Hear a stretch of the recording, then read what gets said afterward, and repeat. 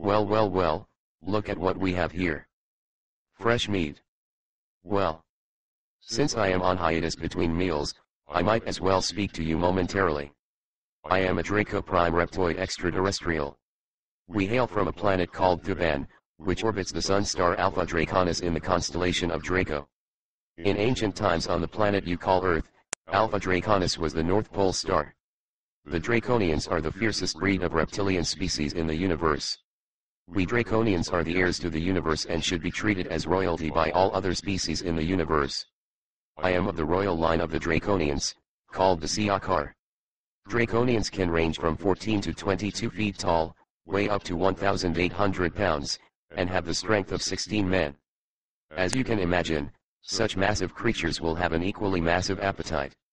To satisfy our appetites, much like a farmer would cultivate a large portion of land and then plant and grow the food he would one day harvest to eat, well, we Draconians cultivated the planet Earth, and we created and placed you human beings on the planet Earth as our food, that we periodically come back to harvest and eat. Earth is like our own personal McDonald's and grocery store for human meat. We created religion on your planet to control the mind of people to make you better cattle, ripe for the picking.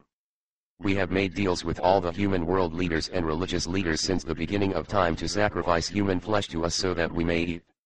This is where the ritual of human sacrifices and blood sacrifices come from. Religious rituals, rites, offerings, and blood sacrifices on altars are all made to us. This is why the pyramids in Egypt were designed so that one side was facing Alpha Draconis and the Draco constellation. This is why Draco was called the lawgiver in ancient Greece. We created the Bible. We are the gods of your Bible. This is why ministers are called fishers of men, because men are like fish that need to be caught and fed to us.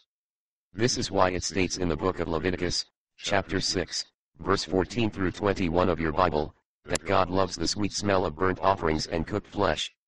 We love to eat flesh, blood, and meat. Human beings witnessed us eating meat, and this is where the practice of cannibalism and meat eating amongst humans came from. This is why there is so much cannibalism mentioned in the Bible. In the book of Leviticus, chapter 17 verse 8 and 9, it states, Whatsoever man there be of the house of Israel, that do not offer the burnt offering or sacrifice unto the door of the tabernacle of the congregation, to offer it unto the Lord, that man shall be cut off from among his people. In the book of Leviticus, chapter 26 verse 29, it says, And you shall eat the flesh of your sons, and the flesh of your daughters shall you eat.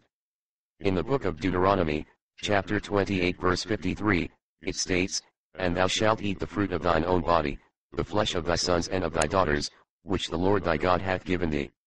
In the book of Jeremiah, chapter 19 verse 9, it says, and I will cause them to eat the flesh of their sons and the flesh of their daughters, and everyone shall eat the flesh of his friend. In the book of Ezekiel, chapter 5 verse 10, it states, Therefore the fathers shall eat their sons, and the sons shall eat their fathers. In the book of 2 Kings, chapter 6 verse 28 and 29, it says, And the king said unto her, What aileth thee? And she answered, This woman said unto me, Give us thy son, that we may eat him today, and we will eat my son tomorrow. So we boiled my son, and did eat him, and I said unto her on the next day, Give us thy son, that we may eat him, but she had hidden her son. And, in the book of Revelation, chapter 19 verse 18, it says, That you may eat the flesh of kings, and the flesh of captains, and the flesh of mighty men, and the flesh of horses, and the flesh of the men that sit on the horses, and the flesh of all men, both free and slaves, both small and great. You see, the Bible is a cookbook. This is where the premise for movies like V, Soylent Green, and To Serve Man came from. Humans are the fruit of the universe. You can barbecue humans, boil humans, broil humans, bake humans, saute humans. There's, um, human kebabs, human creole, human gumbo, pan-fried humans, deep-fried humans, stir-fried humans. There's pineapple humans and lemon humans, coconut humans, Oreo humans, pepper humans, human soup, human stew, human salad, human in potatoes, humans in hummus, human burgers, and human sandwiches. Hispanic people taste spicy, Indian people taste like curry, Asian people taste like duck sauce, white people taste like ham, and black people taste like chicken. Just like you humans and your Thanksgiving turkey, We like to eat white meat. We eat any amputated limbs. We eat the dead bodies out of graveyards. We eat the female's menstrual cycle blood from discarded sanitary napkins and tampons. We eat the foreskin from circumcisions. We eat the placentas and afterbirth when babies are born. We are bloodsuckers of the poor. We drink the blood donated to blood banks. Human beings have copied our eating habits. You want to be us, but you don't realize that oral sex is a form of cannibalism. Men eating pussy, and women swallowing semen, is cannibalistic. When people are abducted by us, they become dinner. This is why there are so many missing children, we made them a quick snack. We get a rush when we get to eat a person whose hormones are racing because they are scared. It tastes so good, it's like a drug high to us. We like to capture a person, torture them, terrorize them, tenderize them, and get them really scared right before we eat them, so that they'll be seasoned just right.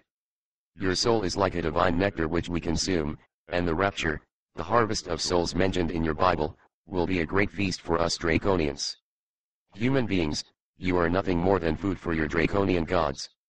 We will eat all of you, and then poop you out after you have been turned into shit. You will be both the food for the gods, and the shit, of the gods. And if shit can be used in a farm as fertilizer for new crops, then the crops which grow from God's shit must be magnificent.